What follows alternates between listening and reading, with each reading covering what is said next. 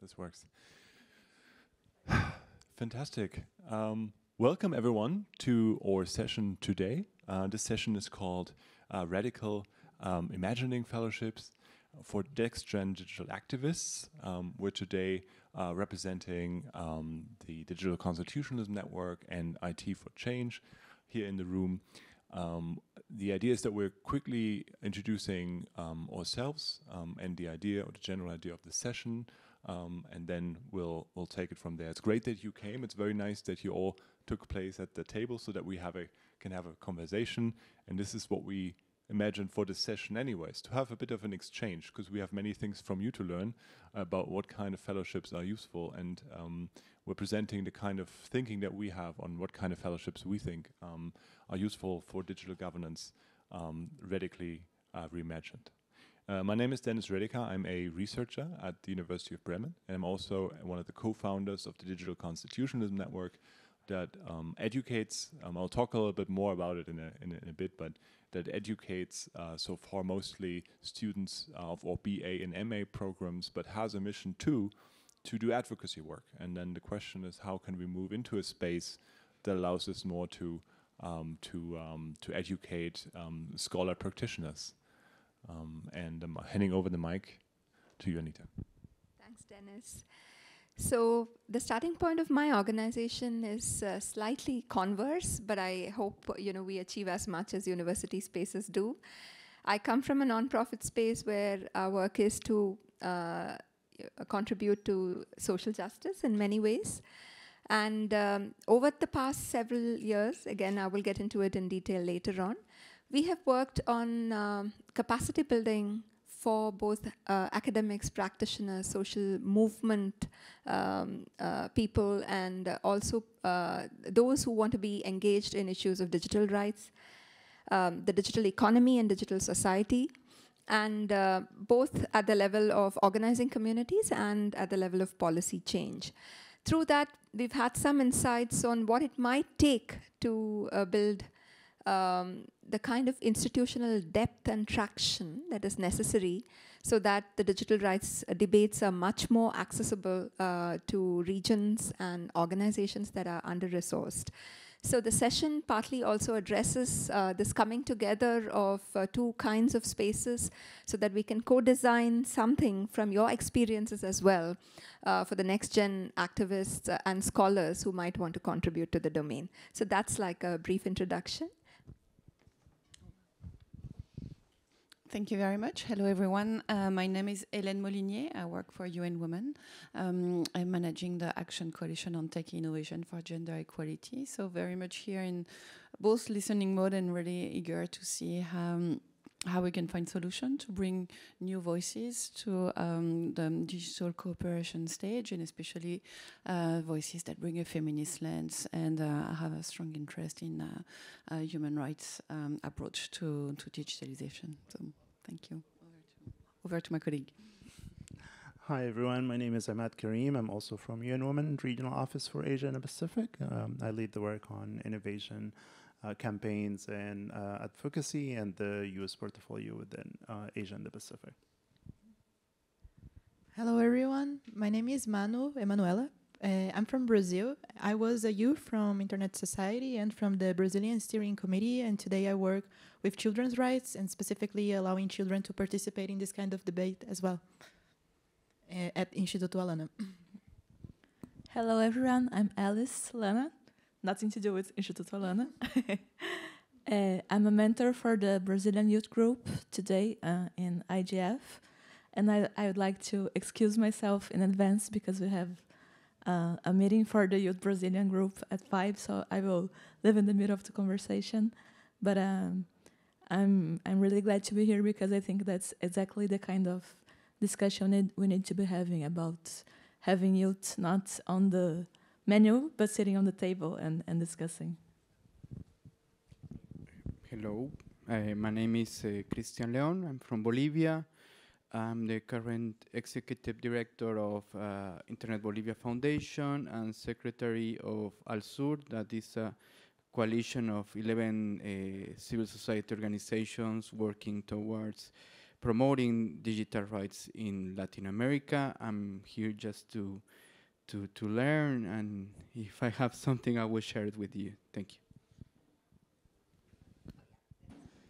Hello, my name is Ariel McGee. I am a program officer with Internews for their Asia region. Um, I work primarily with women and youth led civil society organizations, media, um, and media adjacent CSOs, journalists, and am about kicking off a project on human rights centered internet governance. And so we are actually, as part of that, have a large fellowship program um, so curious to hear what you guys have learned and how we can implement that um, going forward.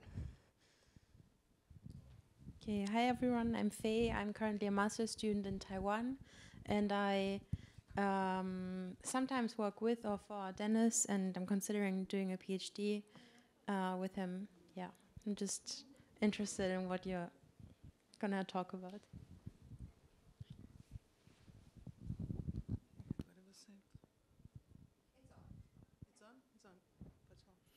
É, meu nome é Raimundo Quilombo, eu moro no Quilombo Rampa, Vargem Grande Maranhão. É, sou da Rádio TV Quilombo Rampa, uma organização que surgiu na comunidade, né, como uma forma da própria comunidade contar a sua própria história através da comunicação popular. Né? Então, uma, a gente criou uma TV dentro da comunidade com o próprio recurso, né? É uma comunicação que a gente chama de dentro para dentro, que é a comunicação ancestral. a gente está aqui para participar e trocar essa experiência com todo mundo que está aqui presente. I'm going to translate for him. Uh, Raimundo, he's from he's a quilombola from Quilombo Rampa in, in São Luís do Maranhão, Brazil. He created the radio and TV Quilombo at his community, which is um, which they um, define as a inside to inside communication, and uh, que mais você falou da comunicação de gente para dentro? He's, and he's a popular communicator. We're here together today. Uh, I'm Barbara Leodora. I'm from Article 19, Brazil. Uh, and I am responsible for a campaign of, of ours that we created in the um, time of the pandemic, which is a campaign which provides fellowships for popular communicators in the whole country, where they can provide um, knowledge and information. And we had two editions to 2020, 2001 for popular communicators to inform the, the, the public about the pandemic. And then we had one last year for the elections because we figured it was a, an effort to guarantee to some to the efforts to guarantee that it would happen, our elections, and it did. And right now we're having um, Escazú agreement edition. So we're here to learn and exchange experiences on this fellowship because it's a it's a great thing we, we've done. I'm very proud of it, and I'm very proud to be here. Excited.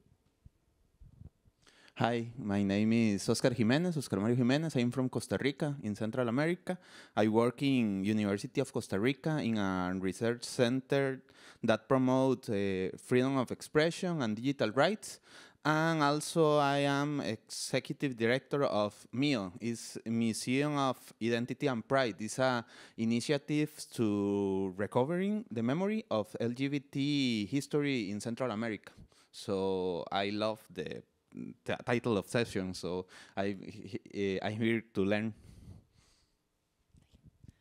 I, um, I'm Eve Gaumond. I'm a PhD candidate at the Montreal University in Canada. I'm also a guest researcher at Keio University here in Tokyo. I uh, work in AI and human rights, um, and my dissertation focuses on uh, the impact of AI on the right to higher education under uh, international human rights law.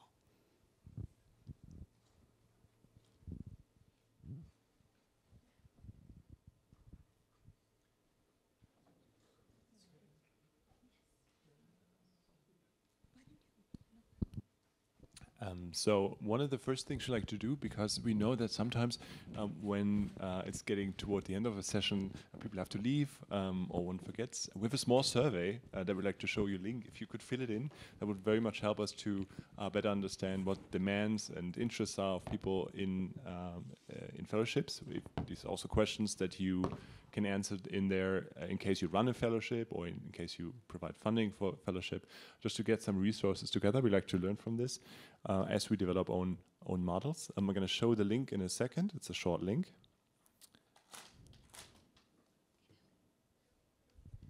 I just wanted to say that it's it's a very short survey. Uh, and if you can leave your email IDs, we'll be happy to also share uh, the analysis of the survey with everybody. That's precisely to account for the conflicting priorities we sometimes have at the IGF, and therefore, you know, the voices are not uh, carried right through till the end. So that is the link, and I'm going to also circulate this. Um, please write in, uh, you know, uh, a little bit like bold or something, uh, capi capitals. I'm not very good at deciphering handwriting. So I'll start from here. Would you be interested in receiving a copy of the, yeah, um, do you need a pen? Yes. So soon after, we can open up uh, the session. So we probably take about five, ten minutes for this. And one comment to those um, online, um, welcome again. And you're obviously also welcome to fill in the survey um, and let us know your email um, addresses. I will post mine, so this is most privacy preserving. I'll just post post my email. That, does that make sense? Post my email here in the in the chat, and then you can send me an email with your email address, or just send me an email, and we'll send you the results as well.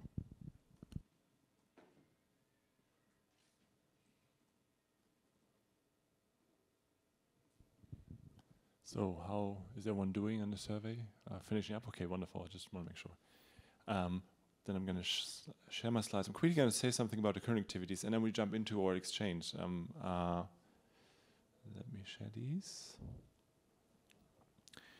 Um, as I said, um, I'm one of the co-founders of the Digital Constitutionalism Network, founded in 2019 um, in Bochum, Germany, um, by academics from um, mostly Europe, but also from around the world. We've had people from, uh, currently people from uh, all continents represented in the in the network, and the network is focused on um, research, but also teaching and training. That's what we're going to talk about today, and advocacy. That's also related to today. Uh, in the field of human rights uh, and the internet, well, obviously that's the focus here.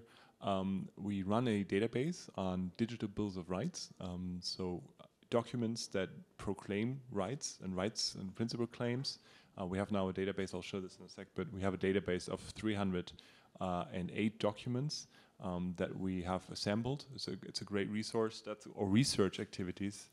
Um, but we also have a, an annual teaching partnership, which we now uh, do online and in person. And we are um, now currently planning for long-term, one-year uh, research incubators to be conducted. This is uh, how the database looks. You can check it out. It is, I think, a helpful research uh, tool also for advocates, for advocacy, uh, to see what other documents are out there that uh, demand uh, human rights and principles uh, on the internet in a digital field, also related to AI. Um, and this database here is going to be updated very soon. Um, we do research with this. Um, just last week, we spent a week with students from across Europe in, uh, in Italy in order to teach um, human rights online using, among other things, these documents and the database. Um, and going forward, the Digital Constitutionalism Networks, a network um, not only wants to partner with additional partners, and we're working with IT for Change, for example, um, we're open to, to other partnerships, um, but we, we're thinking about, on the one hand, how can we combine um, the, the teaching that we do with our students into um, translating knowledge to activists, to young activists who come in and who can benefit from this interchange. Our idea is to create year-long research incubators uh, by which people from different ways of life, um, walks of life can, can join. Um, they're being uh, supported by uh, members of, of the network and of partners, by expert advisors. Um, there will be MA and PhD students among those who, who receive or part of this fellowship um, cohort, uh, but also members of civil society groups, uh, NGOs, or independent young researchers. Um, so that's um, pretty much our, our pitch or our idea. We're still working on this. Um, again, working with IT for Change.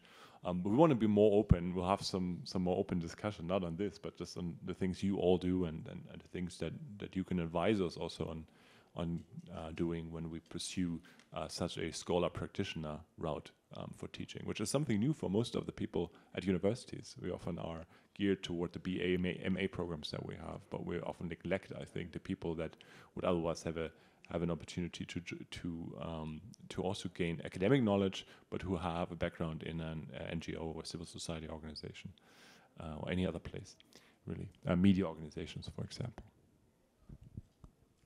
Thanks so much, Dennis. I just wanted to add a couple of things. This is, I think, the 18th IGF, and in many ways, even five years ago, if you actually looked at uh, people working uh, in the grassroots on various issues uh, that uh, occupy the time and energies of social movements, you would find that they don't understand what digital rights are. They don't perhaps engage with those issues in uh, such a palpable way. But I think very rapidly since the pandemic, that situation has changed. And although uh, there used to be the idea of digital activism or using digital spaces for activism, in the past few years, movements have begun to embrace the idea that their own issues are beginning to be redefined by digitalization. So those who've been working on education, for instance, have had to grapple with edtech technologies and uh, others, for instance, in the health domain are quite worried about what happens to health data and cross-border data flows, et cetera, et cetera. Trade justice activists are really grappling with the idea of, you know, um, trade agreements and uh, algorithmic non-transparency in developing countries because of free trade agreements. So the, the field is changing and younger people are beginning really to understand and grapple with these issues. And by that, I don't mean to overgeneralize who these youth are, but I think broadly, talking about those who normally um, are part of um, the very, very fabric of struggle and dissent in their own contexts, and people who are really showing the way um, in terms of the pluralistic dimensions of uh, human rights that uh, we would really like to present, right? So we have uh, at IT for Change done two rounds of, uh, uh, you know, I would say mentoring of fellows. You know, one was on the digital economy and uh, gender through a feminist lens, and that was very rewarding. The other one was a in situ uh, one week fellowship program that we did in Thailand uh, earlier this year, which was called um, Frames and Frontiers for Digitality. If you would have two minutes, maybe you can say something from your, uh, and you could maybe the two of you that have to go. Is, it, is it already time? Okay, I wouldn't, it's already five. Yeah, I understand. So uh, that's fine. So on the frames and frontiers uh, for digitality, you know, we really found it uh, extremely useful that we brought people who are mid-career professionals from different uh, organizations, and they had a lot uh, to say about how they would shape their programs. And the programs that they were holding either as uh, officers in, let's say, large organizations that were working on poverty and development, or organizations that were working on digital rights. So these were very instructive, one of the things that came out was, um, are the existing fellowships for digital rights um, leading us in a way to a kind of uh, individualized paradigm where institutional strengthening is not happening? You know, that was one of the questions that tech fellowships typically tend to privilege certain kinds of fellows who may not then contribute back or uh, the entire structure of these fellowships may not allow the contribution uh, you know, of their work to, you know, sustain social movements. So the uh, effectiveness of these fellowships was something uh, that was called to question, and that's a problematic, uh, you know, just a provocation to analyze. And I just wanted to put it on on the table. We just have two broad questions for the session, and uh, maybe Dennis, you can. Yes, um, so so there are obviously uh, many questions that we have. We have proposed two things to discuss, and we're very happy if you bring in your other questions and your questions um, for discussion. The first one here, um, also on the screen, would be what does the current landscape of funding and fellowships uh, for young activists working in the digital spaces look like? So what is what is out there? So what can we um, kind of collect also here as a, as a, as a brainstorming? Um, who wants to who wants to start?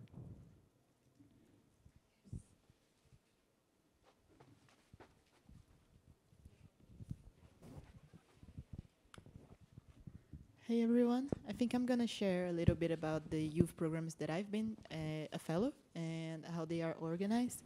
So it's not exactly funding, but more like fellowship. And the first one, I had a, a course. And one thing that I think it's really important to think about is mental health during this kind of procedure. Why? Because it uh, the two programs that I participated, they had a competition vibe. So people were really competing against each other to be able to reach this opportunity, and this caused a lot of problem. So this is an issue.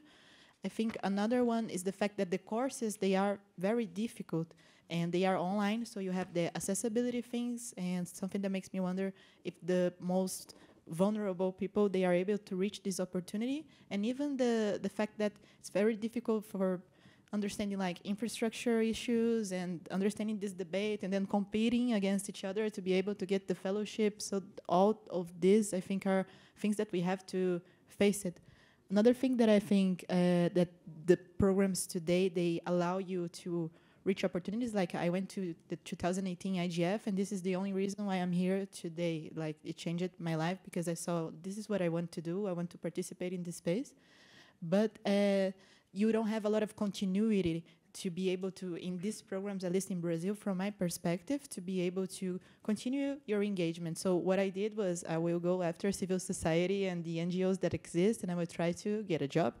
And that's basically what i did. But you, I don't see a lot of youth-led organizations in that sense that are like, oh, let's empower youth, and because of this program, let's do an organization. And I think there are a few aspects of this, like the importance of project management skills and skills to, you know, go after funding and do risk assessments, all of these things that we know that it is important for a lot of, to apply to a lot of grants and these programs, they do not uh, help you with this kind of skills and abilities. So this would be very important to empower people through fellowships so that they can form organizations. And another, the last one, why I think this is so important is because the landscape of civil society in Brazil today, a lot of organizations, they are funded by big techs. And well, if you are funded by the private sector, you have a few particularities on your the fact on what you can do, on what you can speak, even if it's very open. But well, you are funded by them, so the importance of having freedom, not the chilling effect in that sense of the funding opportunities that we have. So these are a few of my considerations. I think that, and I think that is very transformative to be able to participate in this kind of event and this should continue, but also allow to more long-term engagement and for alumni network, like how alumni can become uh, mentors and that they can help and engage people with their experience and build well futures alike. So that's I think I, I approached the two questions a little bit, and maybe later I can share some other thoughts.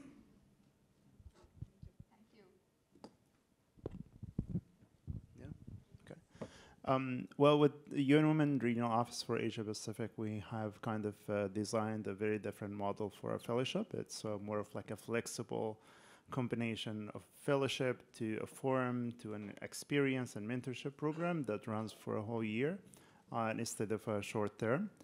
Um, so we have this group, we call the 30 for 2030. Uh, every year we select 30 from across the region, different uh, field of experiences and where they, from UN Women side, we give them a capacity building program, mentorship with our advisors, connection with the country offices, so they have, you know, the data and evidence um, and the strategic overview of the organization of what's happening in the region, but also connected to the country offices and where the implementation is happening.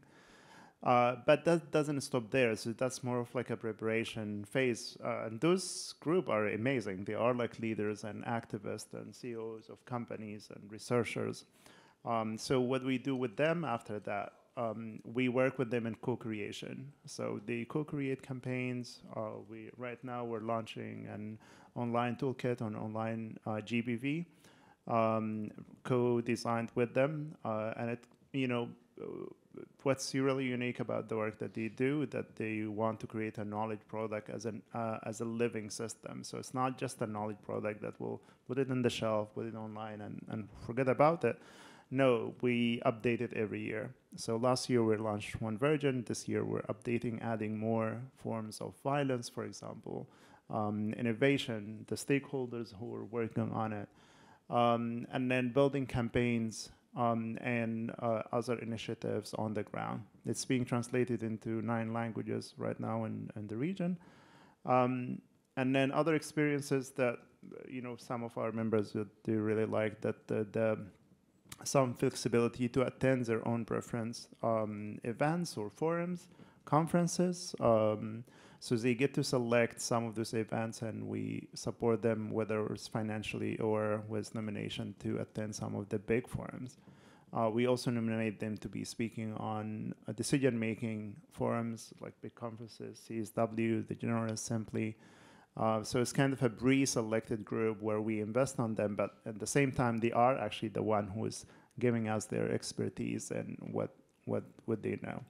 And then at the end of the year, they have the choice to stay uh, for another year as more of a senior fellow, and then mentor the other ones who is coming and be part of that pool of opportunity, or they can just move on. Uh, but all of them they decided to stay. Um, yeah, so I think it's one one good you know practice that we find it that that flexibility um, to give to especially for young activists.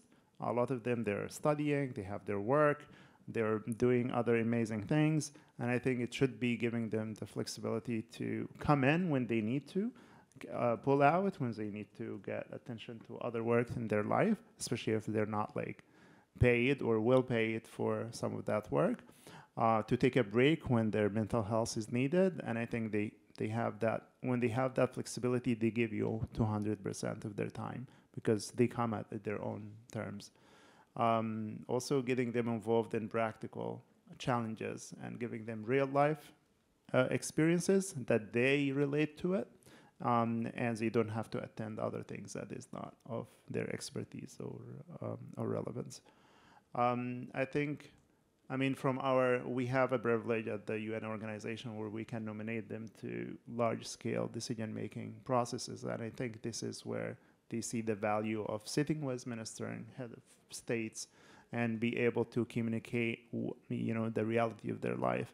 Um, and I think it's very different when they say it than when we say it, or when older people say, "Oh yeah, I was young once. I know what you feel." Like, no, you're not. This is a different reality, and I think it need to be said um, by them uh, themselves.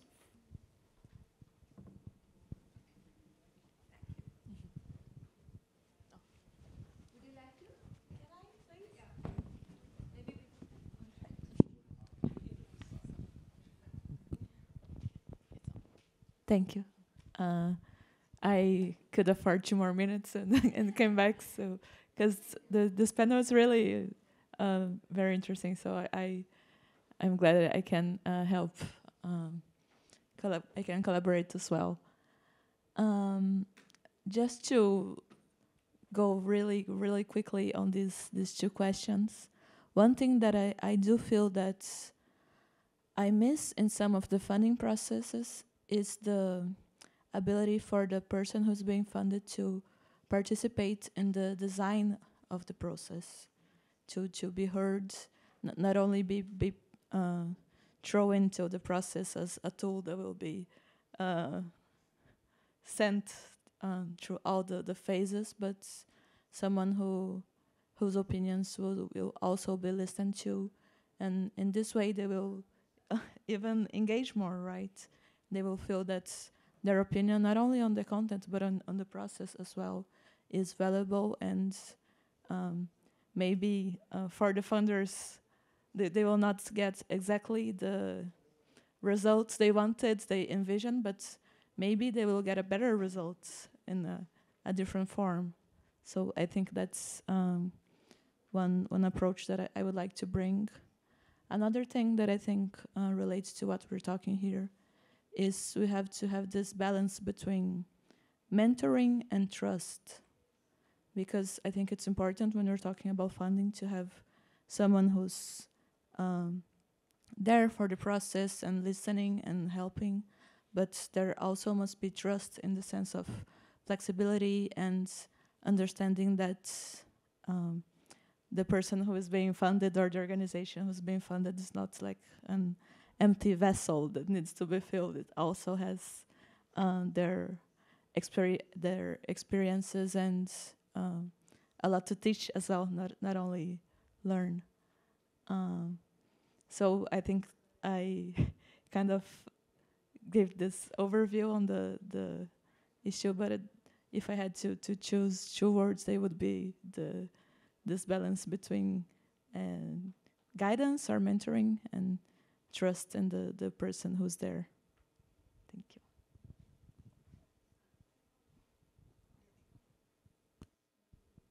Hi, I wanted to talk about our our experience in Article 19 Brazil. Um, this this campaign started in 2020 with the pandemic. We had this um, this money that we would use to activities and uh, things that we're doing in person, and we couldn't anymore. So we figured we would um, reroute these two popular communicators because we figured they were the most qualified people to inform the Brazilian people on the state of the pandemic and what we should and shouldn't do, especially because at the time we had a government that was spreading misinformation. so we had to combat that.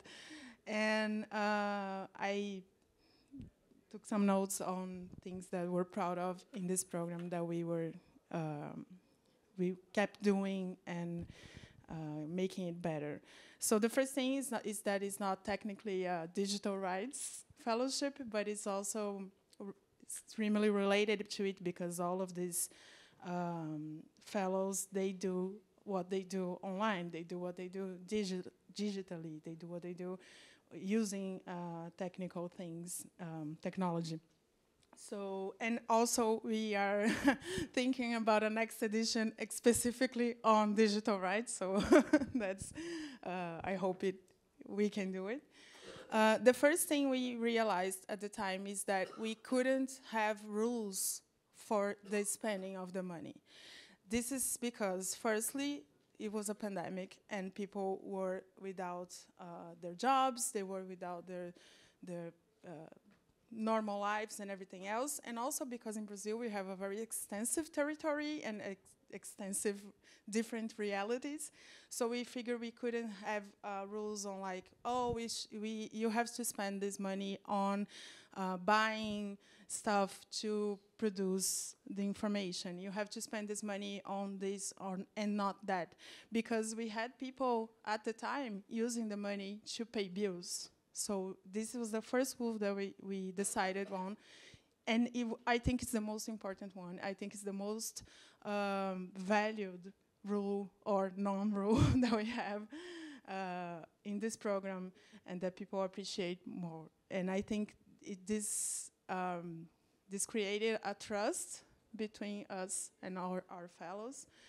And, uh, and I think it's about respect too, because I think it's, it's, we're trusting them to do, you can do whatever you want with it. You just, we're just trusting you're going to keep doing what you're doing that is communication, qualified in communication. Um, and this is about uh, respecting their identities, it's about respecting their agency and their autonomy and their realities because we figure we shouldn't do that. We shouldn't also in the format of the productions, like we couldn't tell them, oh, you need to do a three minute video because each reality was different. We had people that were doing things that um, were not necessarily as we think about popular communication because there were dialogues with indigenous people.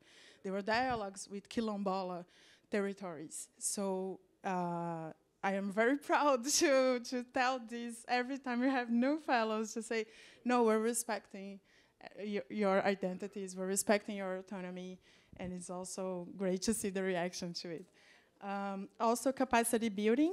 This was something that we implemented over the editions, uh, and the last one and this one we have courses and workshops, and you know, creating um, creating this this capacity for them to produce what they produce already so well, uh, but in specific themes. Also, the community network building.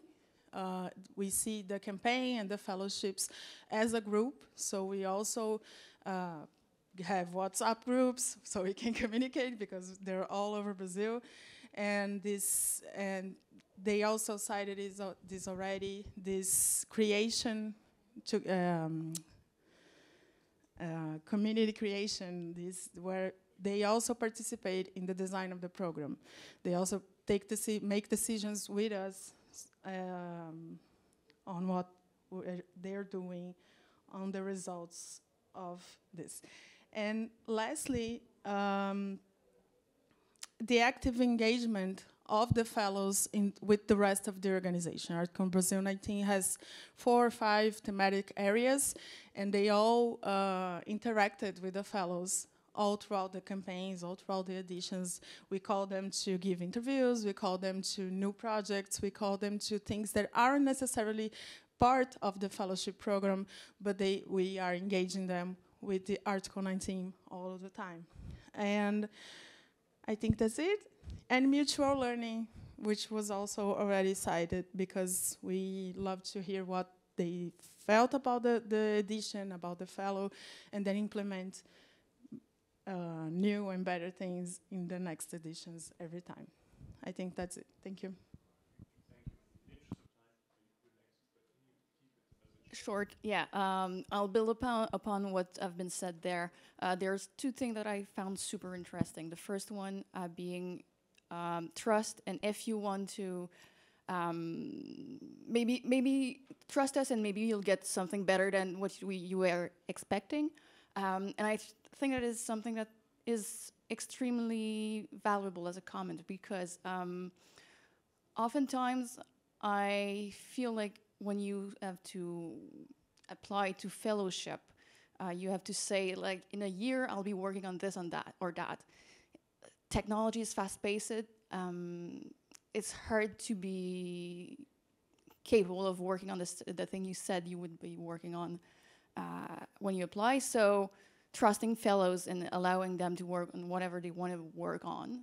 Um, oftentimes it gives good result, I think, I hope so.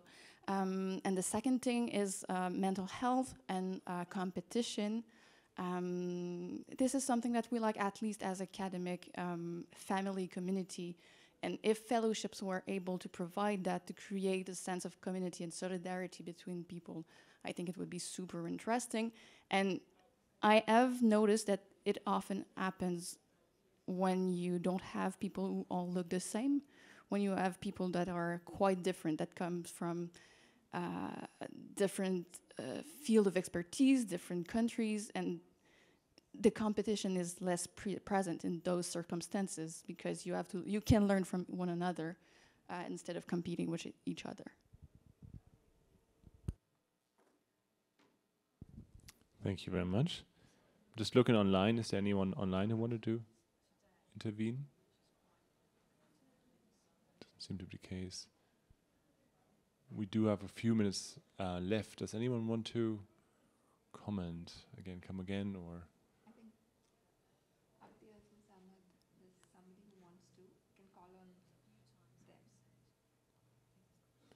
Yeah, I, I sent a per, I sent a message and asked. Um, no, it doesn't seem to be anyone online. Um, any questions here in the room?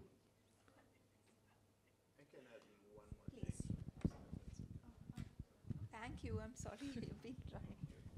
Um, I think one one thing that we learn also from the past experiences is that uh, engaging the fellows in the redesign of programs is very important, um, and having them to be part of the governance of the program itself. I mean, what what we did is that we chose a group. I mean, we got a nomination from the group itself to be part of the redesign of the next phase. So from they drove from their experiences of what worked what haven't what would they recommend what they have like you know loved to do more on this kind of activity and then we picked up those and we made them the core of of the group um, also when we including them in the selection process so there was also a group that we asked them different representation from the group to be part of the selection process of the next fellows.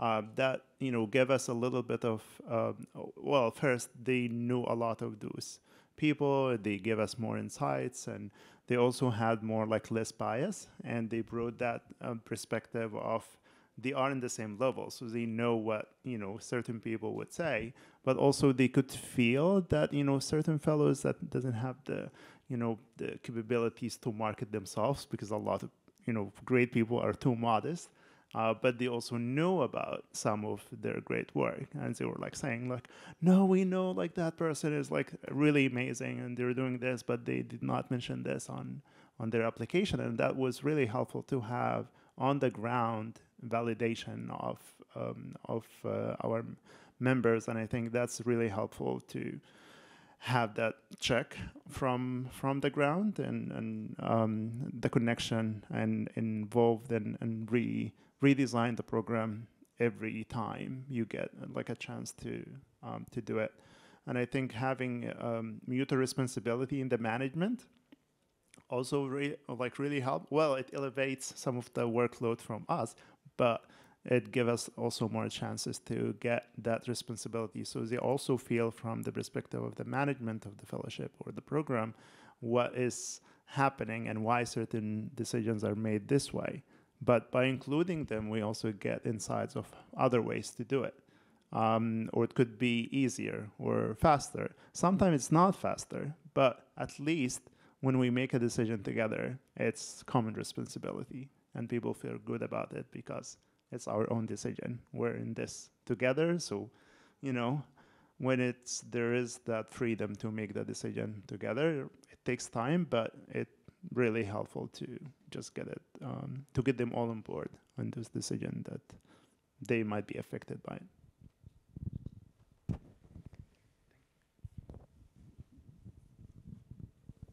Thank you so much, everyone. Actually, I am, if I can may just reflect very shortly on the on our current plans and, and what I've heard. This is so inspiring to to hear these things, things that we partly haven't thought about so much. We can, we, I think, um, as a digital constitutionalism network and also with the cooperation, we can learn a lot. I mean, thinking about uh, participation and governance, coming from a university setting, that often is assumed. So when we when we teach, we know there are formal uh, roles for students to have in university governance but if we branch out and if we engage other stakeholders, then this doesn't necessarily apply. If we think about this being open as a training for civil society, doesn't mean that people are um, immatriculated into the university, so they don't have the same rights necessarily. So we need to develop new governance mechanisms, and we can be more, I think, flexible in that sense with new mechanisms that might even be better um, than the ones we have. And, and so many things that I haven't actually thought about, like the the, the question of um, and your your solution to the question of um, competition being people from different places that really doesn't put them in the kind of competition. I mean, you in, in Asia Pacific have this automatically if you take one person or two from from each country. Um, so this this was really really really um, helpful for us to think this through and uh, we were developing this, we're submitting this for uh, for grant applications, and we'll also update everyone uh, who submitted the email uh, address uh, today if there's something coming through.